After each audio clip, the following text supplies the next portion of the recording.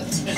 Daryl is a boy, that he lives in my closet, and I lure him there with cookies and some juicy fruit. One time, one time, I tried to kiss him.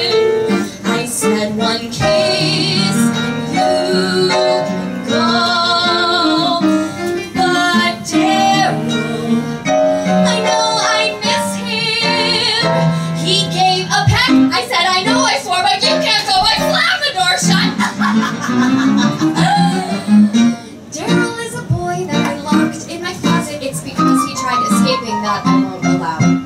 Daryl is a boy I locked up in my closet. First he was my next door neighbor, he's my husband now. One time, one time he tried to trick me.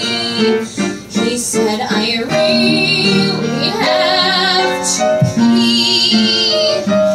Oh, Daryl, you cannot fool me. I know because I did not feed you water. Shush, I'll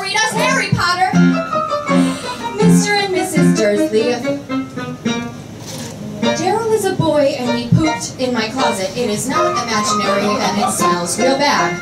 Daryl is a boy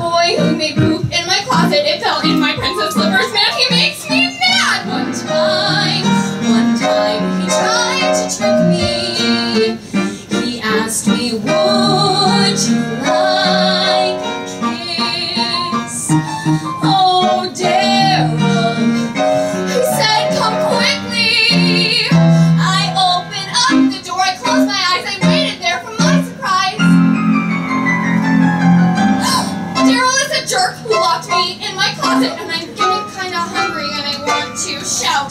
Daryl is a jerk who locked me in my closet.